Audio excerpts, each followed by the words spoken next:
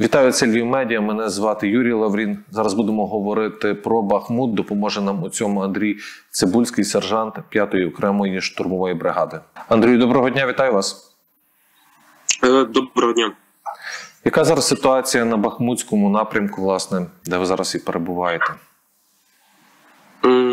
Ситуація складна, важка, але на даний етап зона відповідальності нашої бригади контрольована.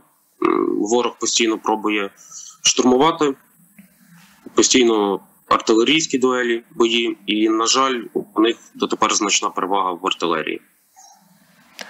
Я не знаю, чи я можу це е, говорити. Якщо не помиляюся, ви працюєте з БПЛА, ви постійно е, все бачите, чи за останні дні збільшилось накопичення зброї та особового складу росіян біля Бахмута?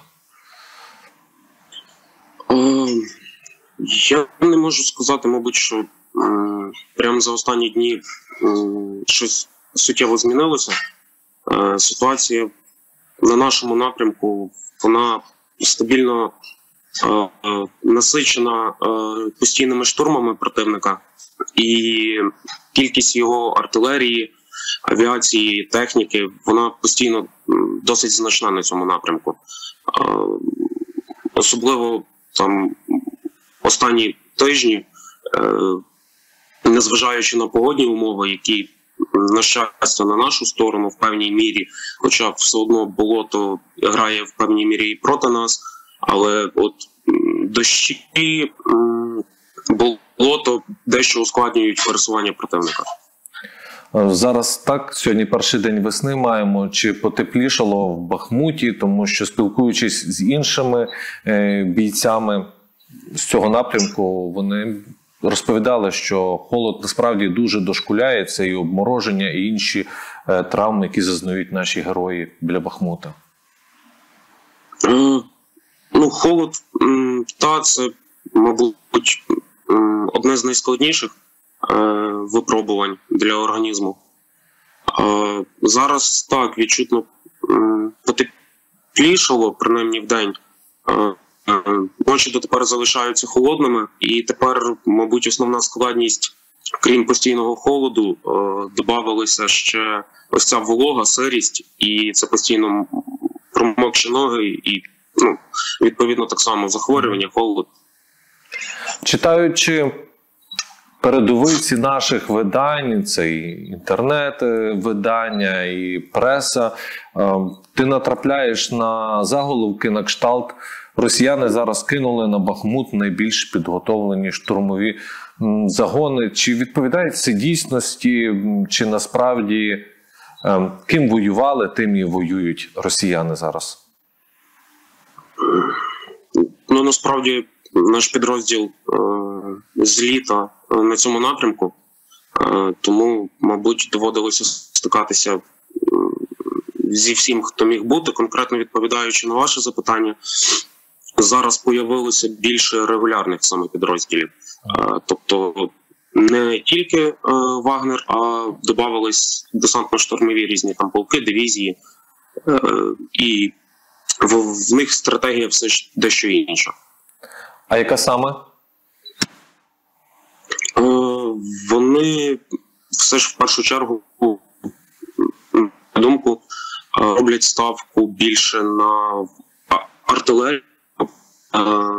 Піхотні штурми так само є, але все ж в першу чергу це концентрація артилерійського вогню.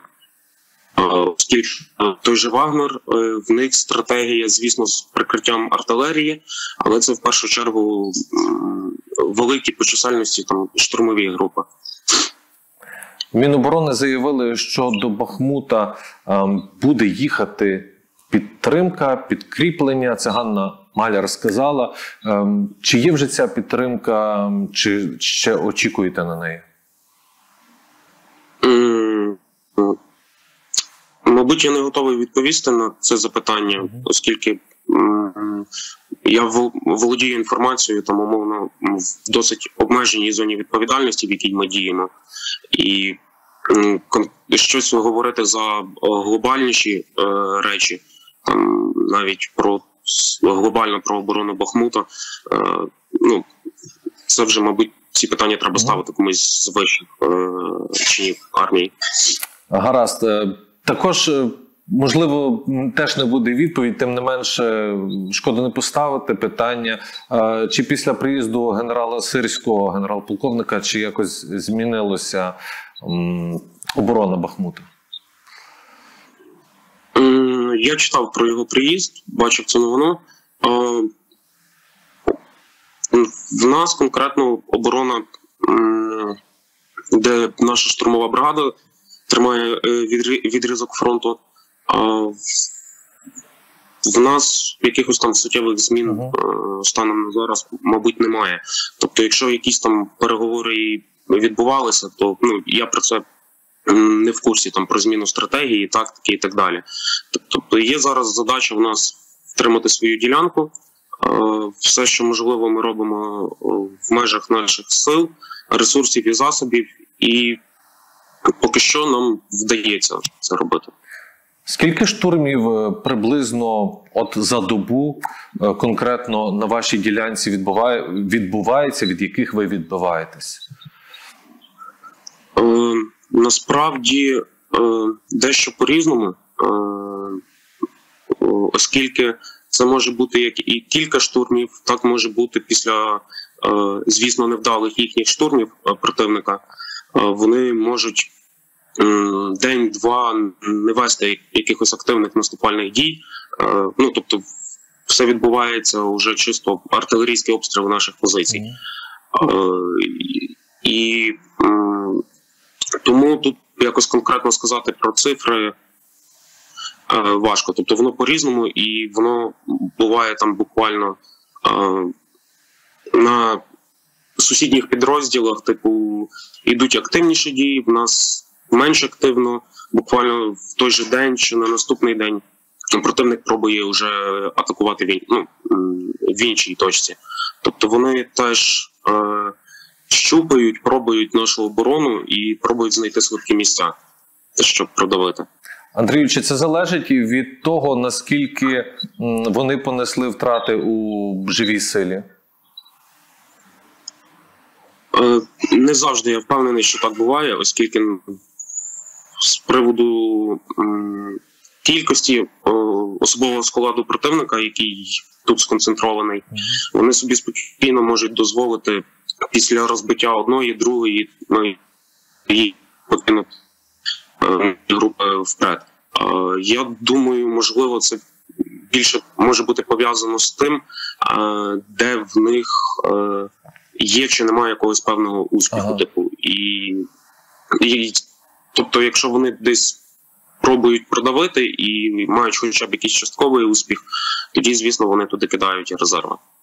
Е, Насамкінець, я так розумію, що обстріли відбуваються постійно, тим не менше, якщо не помиляюсь, на минулому тижні вагнерівці скаржились на те, що їм не дають боєкомплекту, їм не дають е, набоїв, їм ну, не мають вони чим стріляти. Чи загалом снарядний голод, в принципі, на ділянці він час від часу простежується, чи немає такого? Я б не замічав, щоб в них е, припинялися обстріли з їхнього боку. Е, Вони навпаки останніх кілька тижнів, можливо, стали більш активними, навіть більш концентровано. Вони просто квадратами накривають всі околиці, все місто. А, тому навіть якщо в когось із них там у Вагнера чи ще в якихось є проблеми, то воно не замічається на полі бою, як так. Андрій, я дуже дякую вам за розмову. Я дуже дякую за те, що ви бороните нашу землю. Бережіть себе, бережіть побратимів. Дякую. Дякую вам, гарного дня. Про Бахмут, про його оборону говорили з Андрієм Цибульським, сержантом 5-ї окремої штурмової бригади. Дивіться Львів медіа, підписуйтесь та коментуйте, ставте лайки. Побачимось.